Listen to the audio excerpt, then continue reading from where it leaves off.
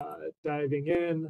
So whenever I talk about oral chemotherapy agents, I always like to start off with what our mechanism of action is uh, for for the class, and then um, trying to link that towards the indications, and that's kind of my jumping off point for how to think about these agents.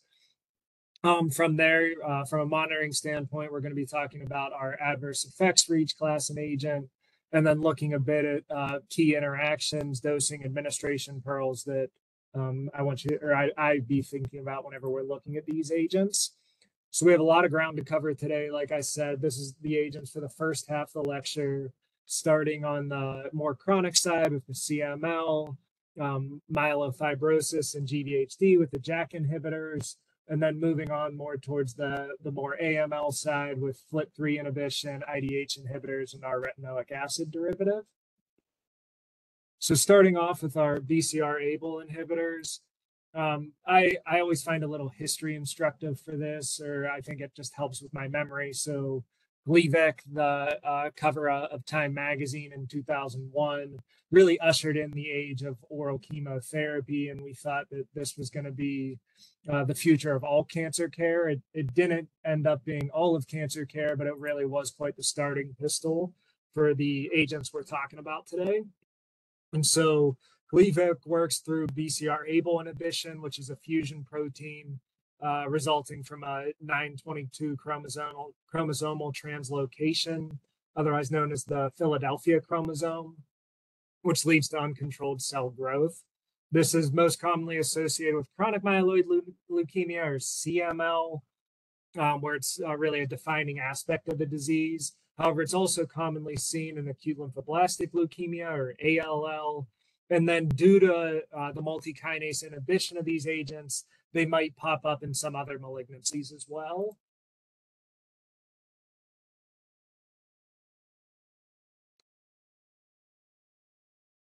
Sorry, I'm having a little technical difficulty. There we go.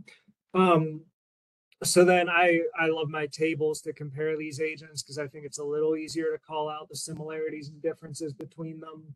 Uh, I, I do think it's helpful to think about these in terms of the generation. So imatinib is our first gen agent, dasatinib, nilotinib, and bosutinib are our second gen, and then ponatinib is our third gen.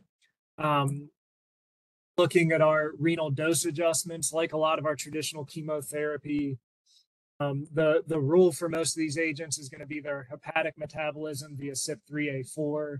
And then sometimes it's just easiest to call out the exceptions. So here, imatinib does require renal dose adjustments, um, which the most common way that's come up is I feel like we've had a couple renal transplant recipients who have actually been. Then from a, a dosing standpoint, uh, nilotinib, I think, deserves a call out as being the only twice daily dose. We'll talk in a couple slides about the importance of adherence for these agents. And so that is worth noting whenever you're thinking about some of the young CML patients who might be starting a chronic medication. Um, looking at our metabolism, like I said, our, our rule here is going to be there almost all hepatic metabolism, though whether or not they require an adjustment for liver dysfunction varies. Um, and then uh, all CYP3A4 substrates, imatinib and nilotinib are called out as our inhibitors where you get kind of the two-way interaction, which once again, the most common way I've seen that come up is either patients on um, uh, anti-epileptics or for patients on like tacrolimus post um, uh, renal transplant. Food interactions are, I think, are really worth a call out with these agents. Um, most you can see are with food, ponatinib, it doesn't matter with respect to food. Um, but nilotinib once again gets a call out for being required to be on an empty stomach, which combined with it being daily medication, I would say earns it standpoint.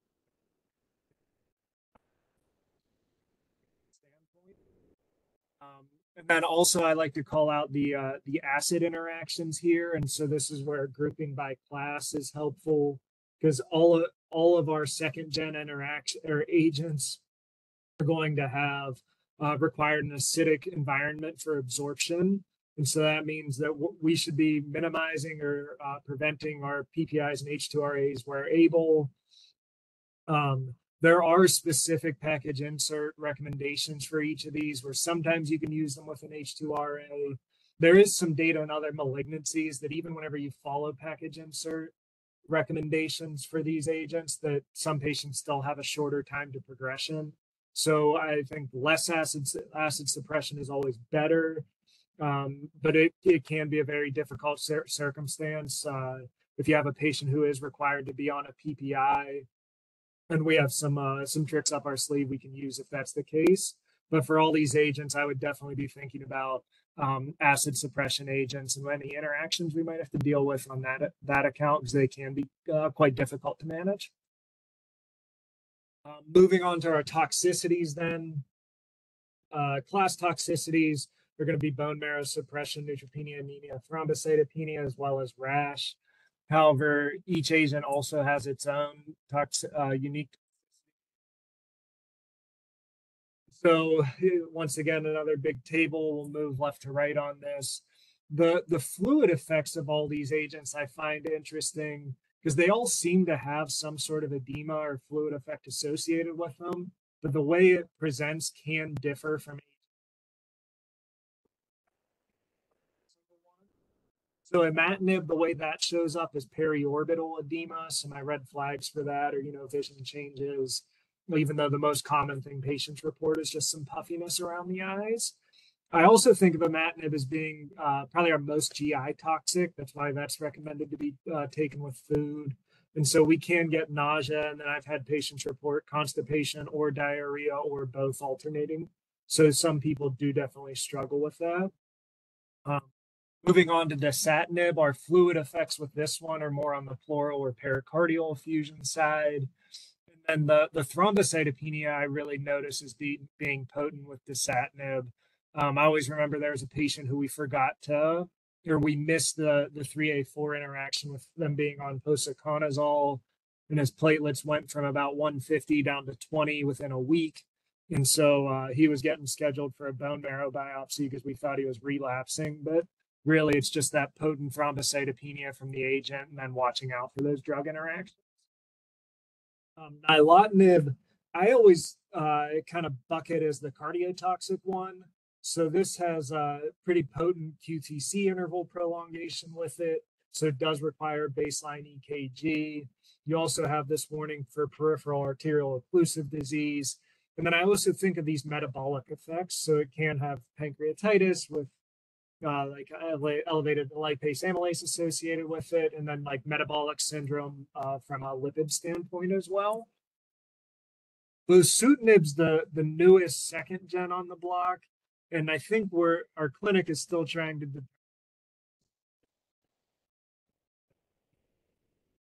It does have warnings for pleural effusions and pericardial effusions, like the other, kind of similar to the dasatinib. Um, and we've had mixed success with patients who have had a uh, history of effusions uh, being able to be maintained on bosutinib. Um, and then it does have a significant warning for hepatic toxicity as well as diarrhea is another important thing to monitor for. And ponatinib, our third gen agent, um, we think of as kind of our, our most toxic. This has a black box warning for death, which of course is always somewhat alarming whenever you're using an agent with that and a challenge whenever you're counseling a patient. And so the the warnings for this or what comes up or the ischemic reaction, so that can also.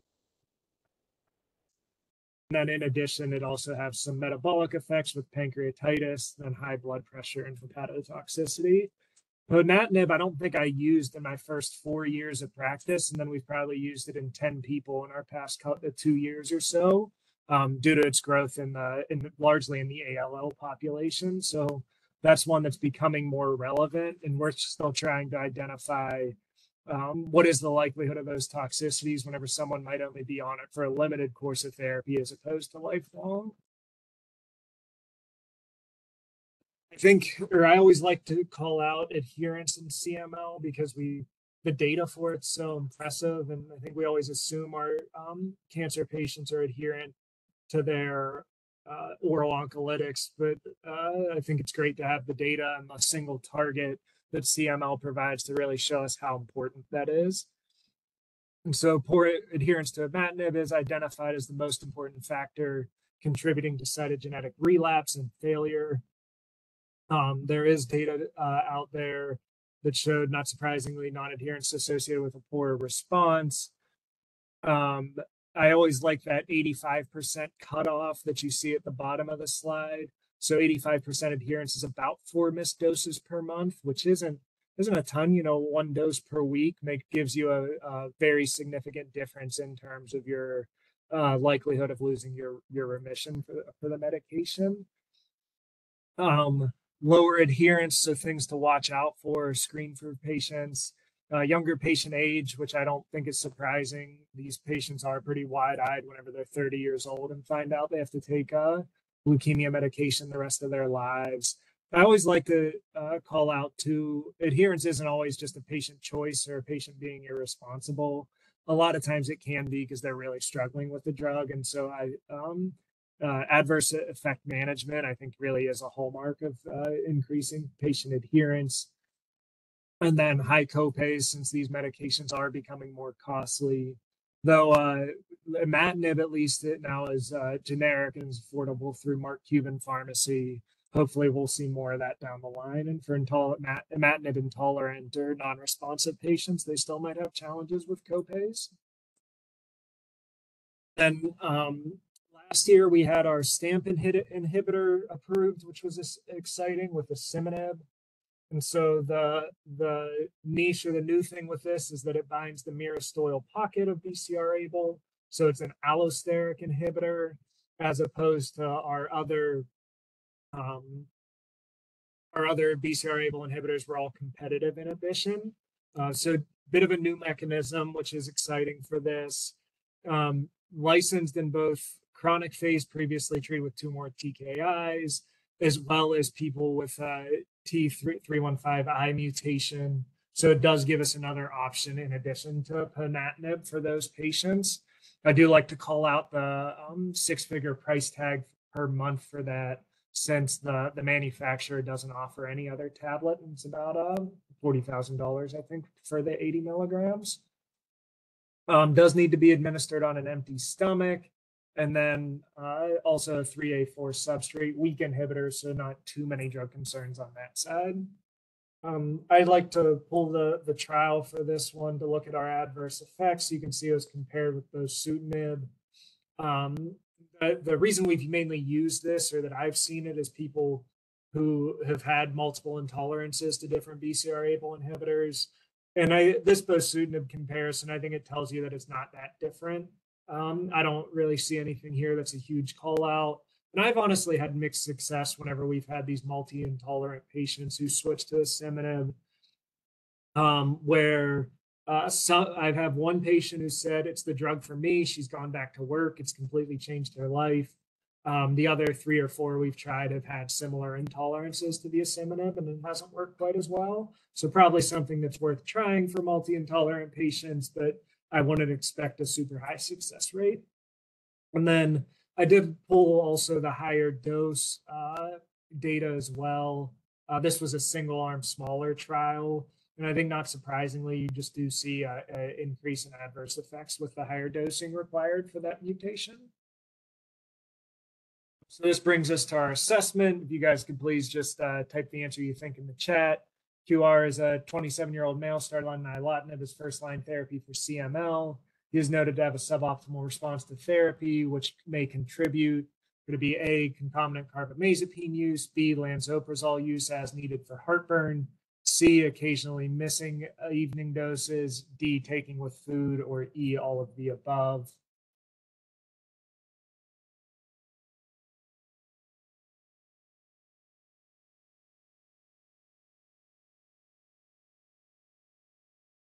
Sorry, I'm not, I might just be uh, missing the responses in the chat. They might not be, uh, oh, there we go. Um, so yeah, now I see them filtering in, uh, but E, all of the above. Uh, carbamazepine is your um, induction anti-epileptic. So whenever you do have patients on essentially anti, any anti-seizure med except for Keppra, we need to be doing drug interaction screens on these patients, and those can be really challenging to manage.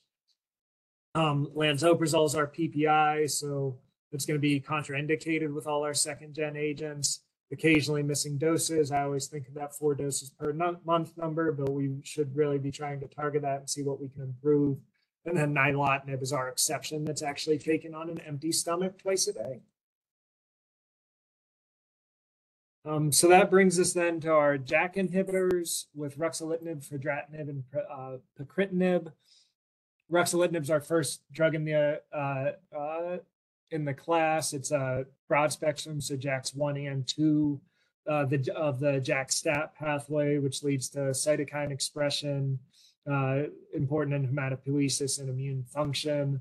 Also a CYP3A4 metabolite, and then uh, we do have some renal adjustments here for uh, creatinine clearance less than 60, so pretty high whenever you're considering a myelofibrosis population.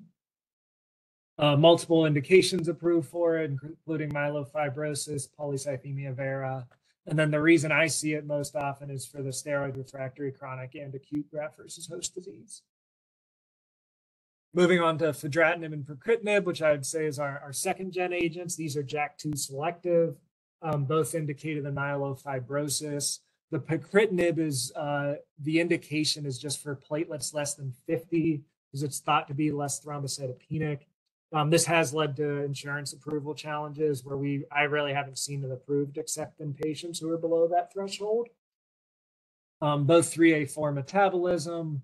From a warning standpoint, I think the big call out is the Wernicke's encephalopathy for fedratinib, which delayed its approval a couple years. So we need to check and replete thiamine prior to uh, initiation. The, the major adverse cardiovascular event, I haven't um, necessarily encountered a lot in practice, but it is definitely in those uh, package inserts and is something to be alarmed about or to be cognizant of. And then uh, hemorrhage and QT prolongation for our pacritinib. Um, I did like to pull the uh, adverse effects for this so you can see highest incidence of anemia and thrombocyte uh, for the, the ruxolitinib. The thrombocytopenia, I, I would, I think that pacritinib number is a bit of a trick because they only enrolled patients with platelets less than 50 on the trial. Um, so um, I, I suspect that actually has less thrombocytopenia than the other agents. Uh, but bone marrow toxicity is going to be one of your major dose limiting factors. And then we can see pretty high incidence of diarrhea and nausea with fedratinib and pacritinib as well as we've had some patients with significant weight gain on ruxolitinib. Brings us to our uh, AML agents with FLT3 inhibitors, midostaurin, gilteritinib, and the newly approved quizartinib. So FSM like tyrosine kinase 3 or FLT3 uh, is important in hematopoietic survival and proliferation. Comes in two different forms, ITD as well as TKD. And so our, uh, and then so our type 1 inhibitors, such as midostaurin and gilteritinib, uh, inhibit both those forms, ITD and TKD. Type 2 inhibitors um, are uh, not effective against the uh, TKD subtype, which becomes uh, relevant with our quizartinib being approved in the past year. And then, like many other agents, we also have first gen that are more broad spectrum and were likely used in other diseases first. Uh, sorafenib being a great example of that versus our second gen that are more potent and selective for FLT3. And I'd, I'd put quizartinib in that second gen bucket. So our uh, comparison table then from an indication standpoint, midostaurin uh, and quizartinib are approved in frontline therapy. Uh, one difference there is the quizartinib also has the maintenance approval. Uh, so uh, in combination frontline with HiDAC and then in ma- maintenance continuation, versus midostaurin just has the approval with induction and HiDAC. Gilteritinib is approved in the relapse or refractory setting. And then midostaurin also has the mast cell leukemia and systemic mastocytosis approvals. Um, midostaurin and quizartinib, the, the durations are somewhat similar. It's that 14 days of therapy. Gilteritinib will be continuous dosing due to that single agent relapse indication. Uh, all hepatic 3A4 metabolism, which is going to be relevant whenever you consider that our mold active antifungals are strong 3A4 inhibitors and have our mortality benefit in, in induction AML. So that is an interaction that we'll have to work around and deal with.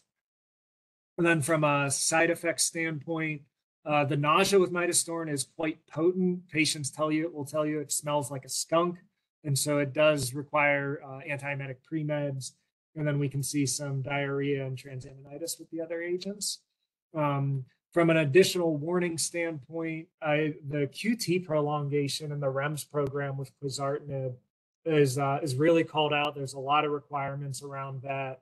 Um, a lot of dose modifications recommended for interactions, or if the patient uh, does have prolonged QT. So that's something that definitely requires um, some extra focus and oversight, um, especially as we move to implement that medication in the next couple months. Um, so that leads us then to our isocitrate dehydrogenase inhibitors, our uh, IDH inhibitors, enasidenib, ivosidenib, and the new kid on the block, olutasidenib. Um, and so the uh, IDH then, it's um, the mutant variety results in the inability for cells to differentiate. It does come in two different flavors, IDH1 and IDH2, which function in different parts of the cells. Um, even though from a, a, therapy standpoint, there are differences between the agents, um, but it's not something that I call out that much. I, I tend to do more bucketing than splitting on these two. And so uh, looking at our table then, ivosidenib and olutasidenib are our IDH1 inhibitors versus enasidenib is a IDH2 inhibitor. Um, ivosidenib is uh, indicated in newly diagnosed or relapsed refractory AML, versus our other two are just in the relapsed or refractory setting. Um, from a dosing standpoint, olutasidenib gets called out for similar to nilotinib being a BID med on an empty stomach that could be a little challenging for a, a compliance challenge patient. Go with the standard uh, hepatic metabolism. And then from a side effect standpoint, we can see some nausea with these. Differentiation syndrome is your big warning that we'll dive a little more into on another slide. And then you can see uh, LFT abnormalities, elevated bilirubin. Enasidenib, you can see at 81% is a pretty high incidence. And there's a lot of specific callouts for how to dose mod that if we have to. Um, class warnings are going to be the QTC prolongation as well as differentiation syndrome. And so diving a little more into that differentiation syndrome then, this occurs to rapid proliferation and differentiation of myeloid cells. So that gets back to our mechanism of action because the IDH uh, mutation pro, uh, prevents myeloid uh, maturation. Uh, then, whenever you give these a- agents and the IDH inhibit, um, uh, enzyme begins functioning as it's intended, then you get this rapid differentiation of cells. So, symptoms for that may include dyspnea, pulmonary infiltrates, uh, renal impairment, fever, as well as rapid weight gain. Um, the call out with these agents is as opposed to the next agent we'll talk about, it has a long tail for our range. So we usually think about more on the month scale for onset for this.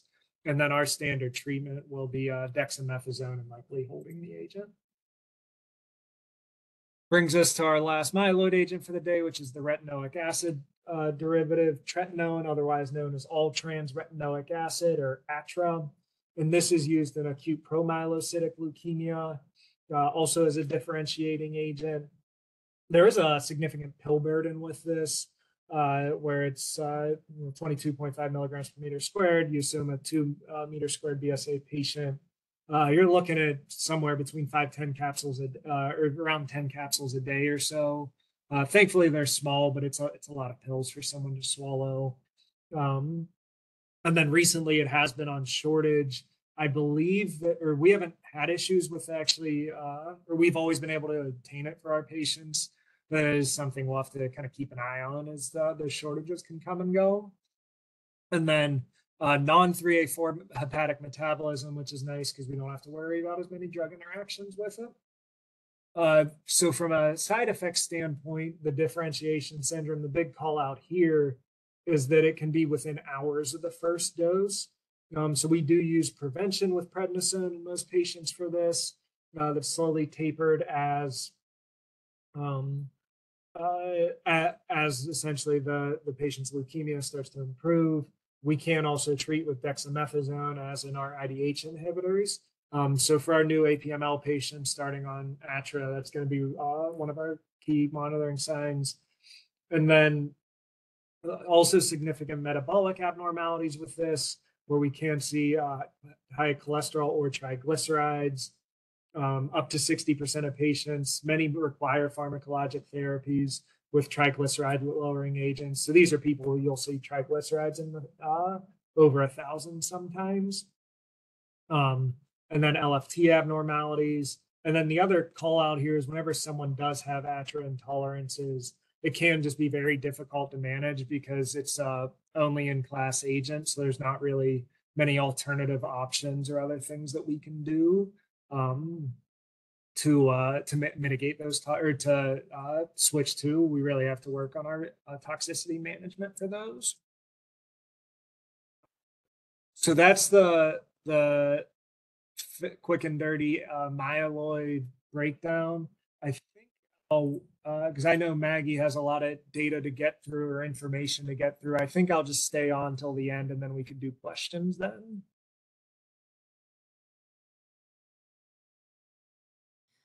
Sounds good. All right.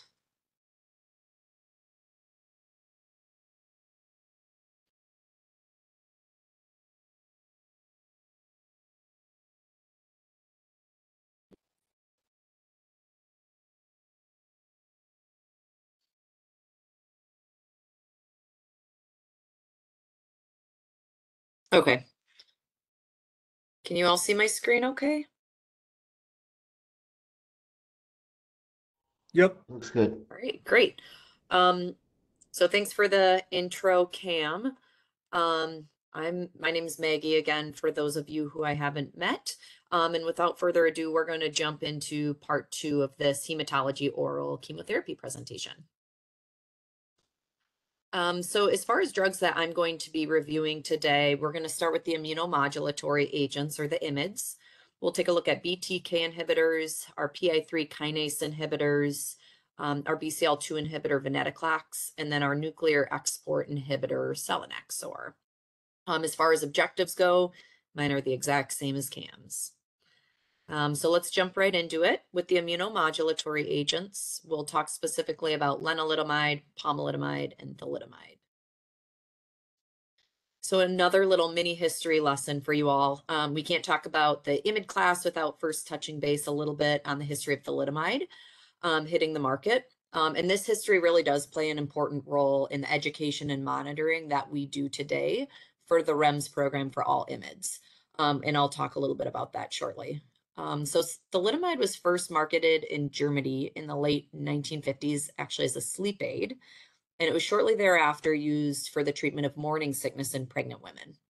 Uh, within a few years of widespread use in Europe, Australia, and Japan, over 10,000 babies were born with a birth defect uh, called phocomelia, which is a condition of shortened, absent, or flipper-like limbs.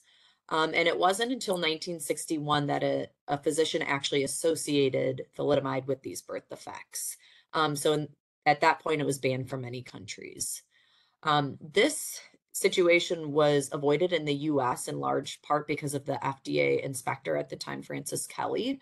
Um, she actually held up the approval of thalidomide in the US, mostly because she was concerned about the lack of studies that were done in this uh, in the pregnant population and she was actually mostly worried about the side effect of peripheral neuropathy. Um, she then actually won like a an award for holding her ground despite the pressure to approve this medication in the U.S. without those background studies. Um, so this whole thalidomide tragedy led to the Kefauver-Harris Amendment Act, which required drugs to be proven both safe and effective prior to marketing. Um, and then fast forward in time in 1998, thalidomide then re entered the market and it was approved for the use of myeloma and leprosy treatment. Um, so, our REMS program or risk evaluation and mitigation strategy um, is a program that applies to all three IMID agents um, with the goals to really prevent the risk of embryo fetal harm and then to inform prescribers, patients, and pharmacists on these serious risks. Um, you have to be specifically certified as a prescriber of these agents, and then pharmacies need to be certified as well. So only certain pharmacies can actually dispense these prescriptions. There are lots of steps um, that are involved in this REMS program for all kind of three parties that are are majorly involved. So prescribers or a de designated uh, representative have to get an auth number for each prescription.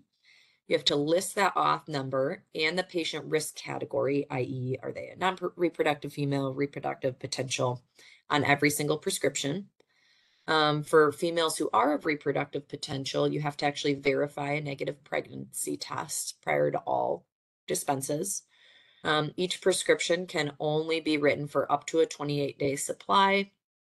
And then a new prescription is required for every single dispense, i.e., you can't put refills on these. Um, for patients, they have to complete a confidential survey either online or via phone prior to filling the medication. And then again, females of reproductive potential have to use at least two effective methods of birth control.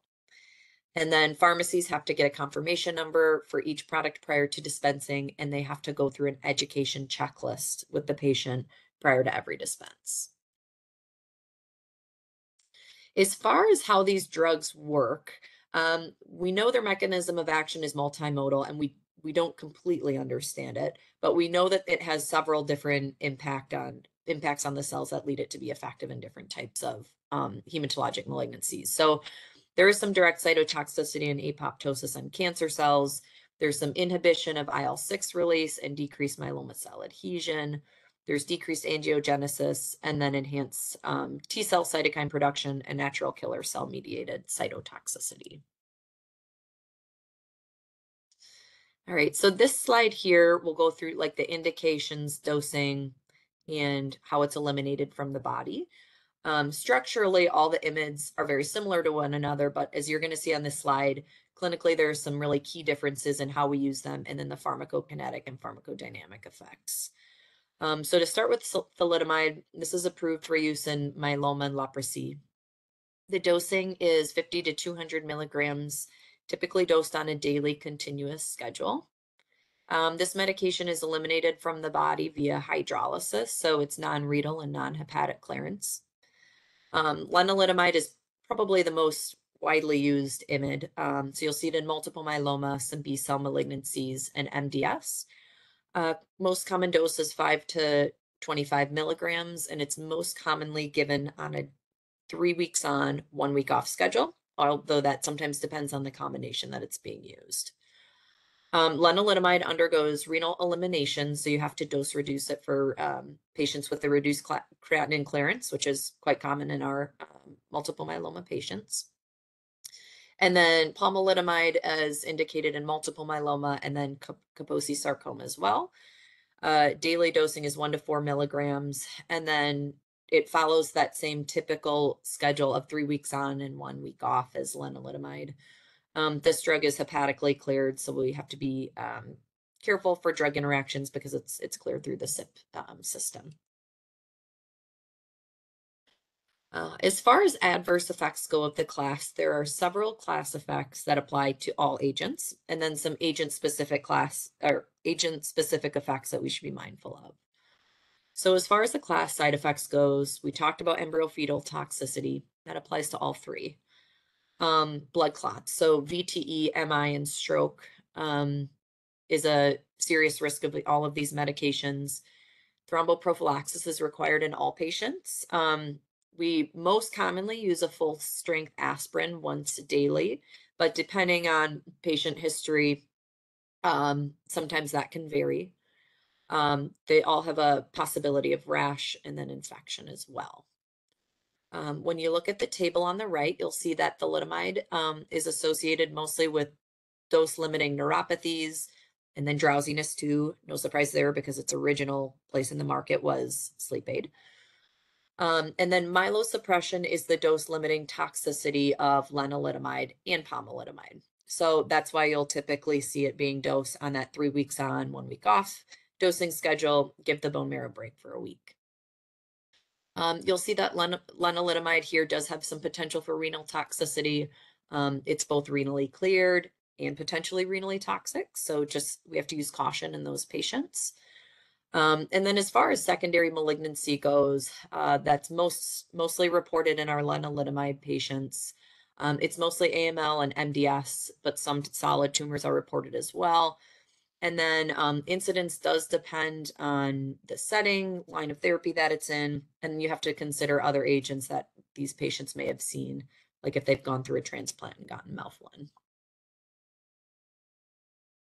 So next we will jump into our BTK inhibitors. Um, we'll discuss ibrutinib, acalabrutinib, and zanubrutinib.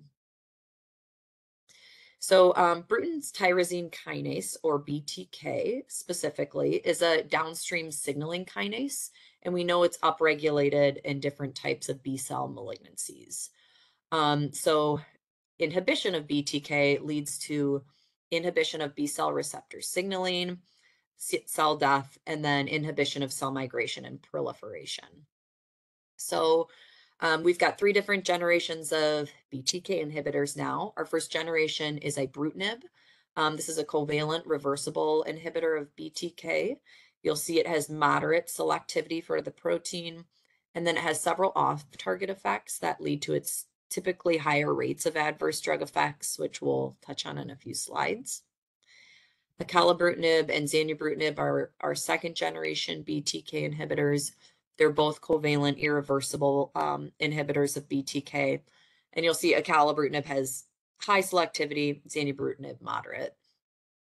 And then the last agent, which is our third generation BTK, is pirtobrutinib. Um, this binds to the ATP pocket of BTK in a different manner than the other three. And that allows it to be effective in both wild type BTK proteins, which is when you see the first and second generation uh, BTK inhibitors used. And it's also effective in patients who have a BTK C481 mutation, um, which is our most common mutation that we know of to date in patients with CLL and who have seen one of our um, irreversible BTK inhibitors. Uh, so this slide here shows the FDA approved indications for these agents. You may see them used off label, but this is kind of just package insert type FDA labeling.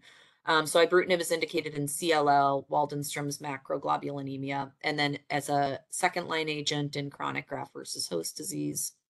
Acalabrutinib has approval in CLL and mantle cell lymphoma in the second line setting. Zanubrutinib is approved in CLL and Waldenstrom's, and then second as a second line agent in mantle cell and marginal zone lymphomas. And then pirtobrutinib specifically um, is FDA approved in the third line setting of mantle cell lymphoma after patients have received uh, um, covalent BTK inhibitor. Right. This slide here has the different dosing and clearance considerations for our BTK inhibitors. Um, so you'll see ibrutinib and pirtobrutinib are our once daily medications. Um, acalabrutinib is always dosed twice daily. Zanubrutinib can be dosed once or twice daily. We more typically dose it twice daily. Um, the only medication that needs to be adjusted for renal insufficiency is pirtobrutinib. Um, the only medication that does not need to be adjusted in some degree of hepatic impairment is pirtobrutinib. The other three do require it. Um, and then all of these medications are metabolized by that CYP3A4 system, um, which sets them up to be have drug interactions with with a lot of medications. Um, so even drugs that are considered um, moderate CYP inhibitors, in addition to our strong CYP inhibitors, would require some degree of dose adjustments and a lot of indications for these agents. All right, um, so this slide shows some adverse effects of interest for BTK inhibitors. Um, a couple things I didn't list here that are known effects of BTK inhibitors are infection and myelosuppression. Um, the adverse effects here that are the rates that are listed are not from head-to-head trials. So just keep that in mind when interpreting and comparing between agents. Um, but in general, we consider ibrutinib to have the most side effects because of those off-target effects. Um, while pirtobrutinib does appear to have the best tolerability, but again, this is still pretty early in studies and head-to-head trials are, are in process. Um, so looking at these, ibrutinib typically has the highest rates of AFib that we see and bleeding and both of this is both of these events are um, thought to be due to its inhibition of those TEC kinases. And then ibrutinib's higher rates of diarrhea and rash are thought to be due to some off-target inhibition of EGFR inhibitors. Um, and then kind of the call out here, I, acalabrutinib is typically considered to have the highest rates of headaches. Um, so we do have some head-to-head studies looking at our first generation ibrutinib versus the second generation BTKs now, which is nice for comparing adverse effects head to head. Um, so this is just a kind of a screenshot here of the Elevate RR study, which was a non-inferiority study comparing ibrutinib to acalabrutinib in relapse refractory CLL. Um, so you'll see um, ibrutinib had a little bit higher rates of major bleeding. Acalabrutinib actually had higher rates of grade 3 AFib than ibrutinib, while ibrutinib had higher rates of overall AFib. Um, ibrutinib had more severe diarrhea and more hypertension. And then, as I had said before, headache is more common in acalabrutinib. Um, this next trial are, are, just some screenshots from the um, Alpine study, which was a phase three trial that was published earlier this year. It compared zanubrutinib to ibrutinib in patients, again, in that relapse refractory CLL setting um, zanubrutinib did demonstrate uh, PFS improvement over ibrutinib in this study. And then it did have fewer discontinue rates, discontinue rates of adverse drug effects than ibrutinib and had fewer overall cardiac toxicities that led to drug discontinuation or death um, than ibrutinib. Um, so I say all that to say, in general, zanubrutinib is considered to be better tolerated, but adverse effects obviously still occur. So a little bit higher major bleeding events in ibrutinib, um, more diarrhea in ibrutinib. Uh, hypertension was actually a little more present as far as the grade three events go in the zanubrutinib group. And then ibrutinib, again, had higher rates of just all cardiac toxicities. Um, the last thing to touch on with BTK inhibitors that's um, that's really important in um, our CLL patients is the phenomenon of redistribution lymphocytosis. Um, and what it is, is it's essentially a transient increase in a patient's absolute lymphocyte count. Um, and that's a result of some inhibition of chemokine receptors from the BTK inhibitor that results of trafficking of CLL cells from the lymph nodes into the peripheral blood. Um, so this is not a relapse or progression of their CLL, and it's typically not associated with toxicities either.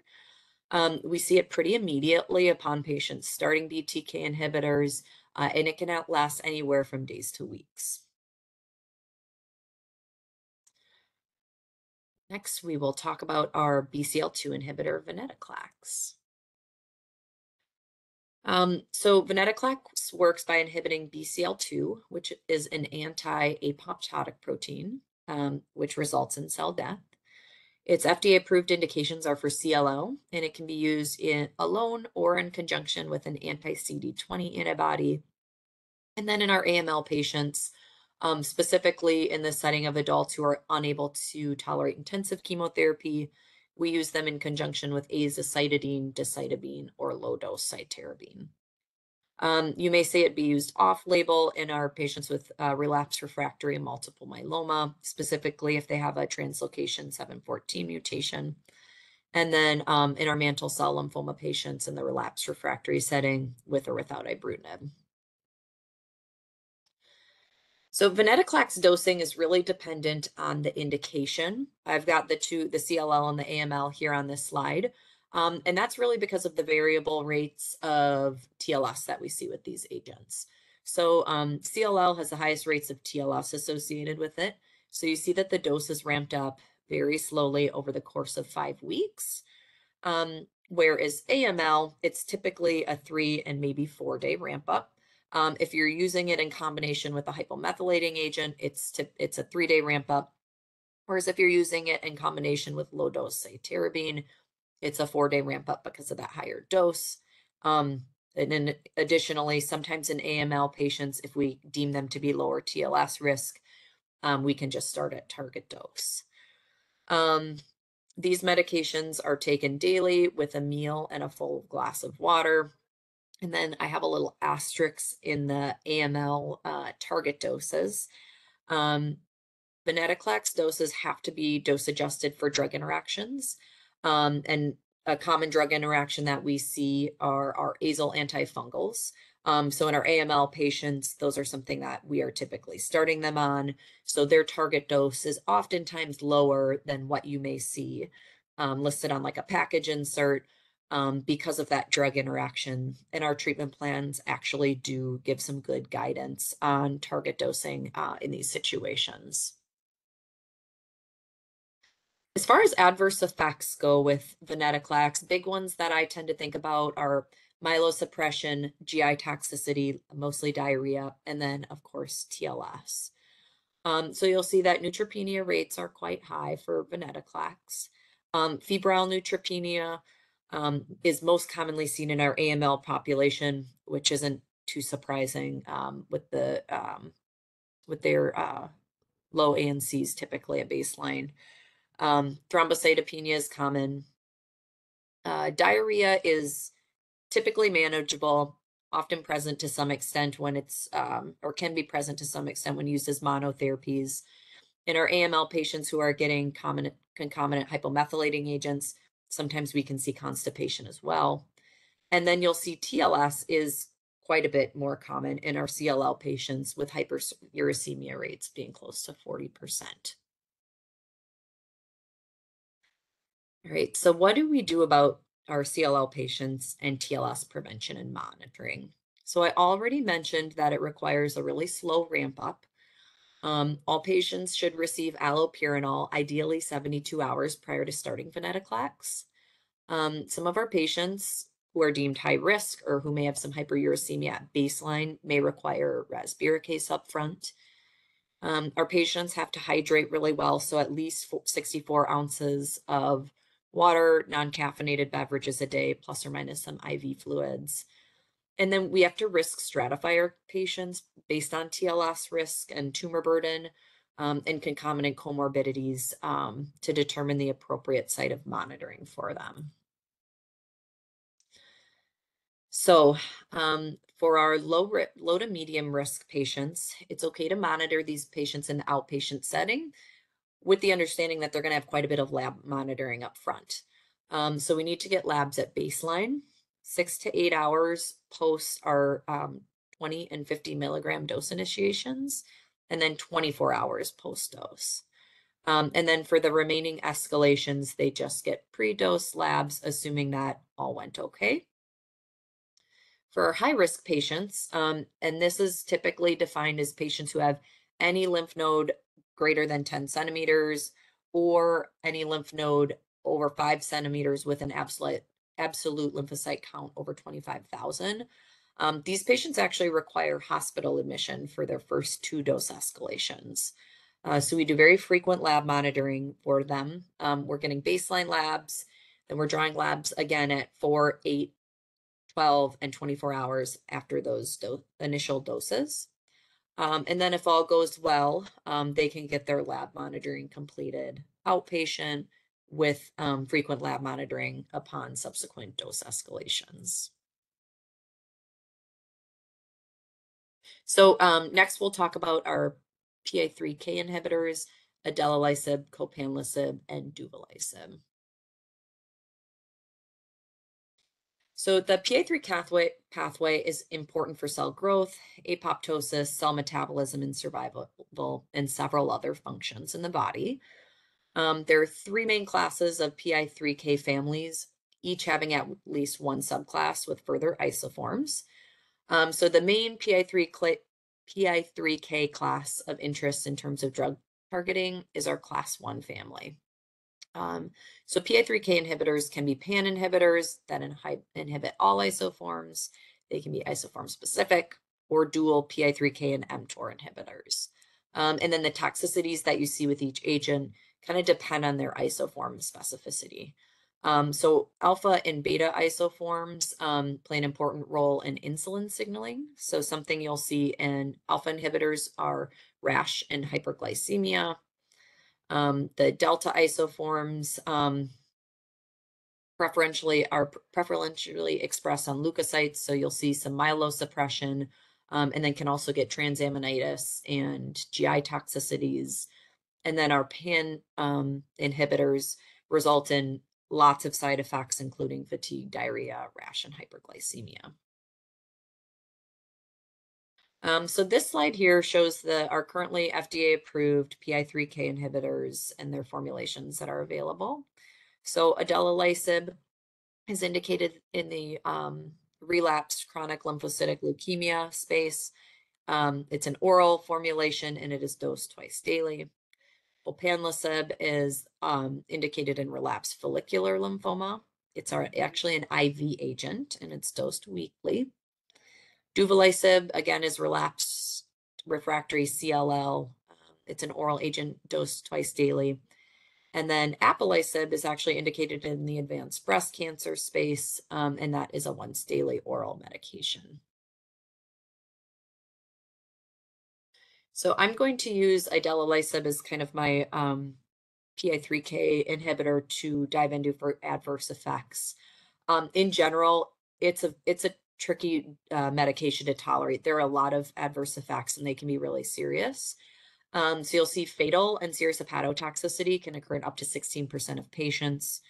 Grade three or higher diarrhea colitis in 20%. Um, so this is actually a colitis that oftentimes requires steroids for treatment. Uh, pneumonitis can be present in up to 4% of patients. Fatal or serious infections are quite common in almost half of the patients who will be on it. Um, so thinking infections like PJP pneumonia, all these patients on this medication have to be on PJP prophylaxis. Um, and then CMV reactivation, so CMV monitoring.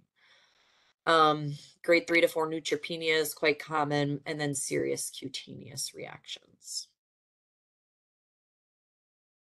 Uh, the last medication that we'll dive into here is selinexor, which is our nuclear export inhibitor. So selinexor inhibits um, a nuclear transport protein called XPO1. Um, XPO1 is a nuclear transport protein that's overexpressed in cancer cells. Um, it's responsible for transporting growth regulators and oncoprotein mRNA out of the nucleus and into the cytoplasm.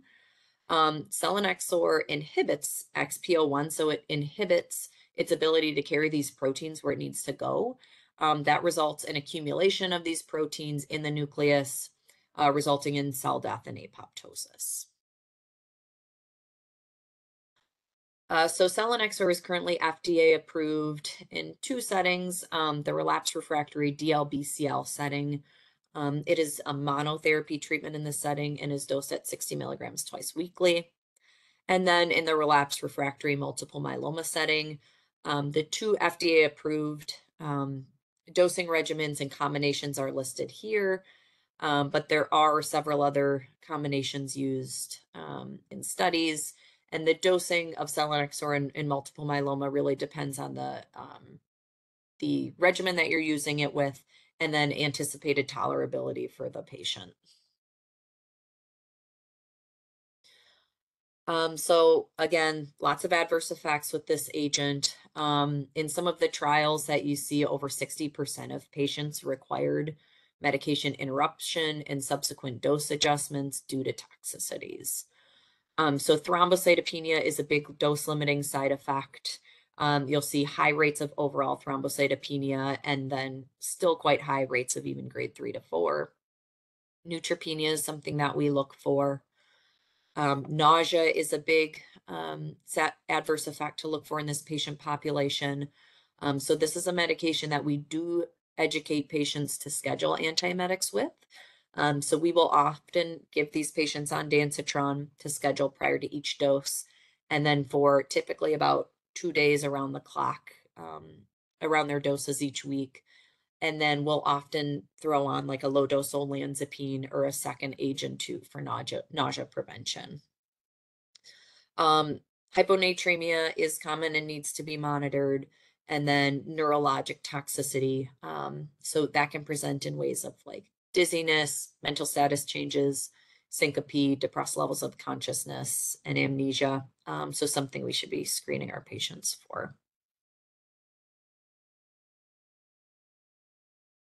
All right, so ended on a couple of uh, kind of uh, high adverse effect nasty drugs there, but to kind of just wrap up all of the um, oral chemotherapy agents with some key takeaway points here.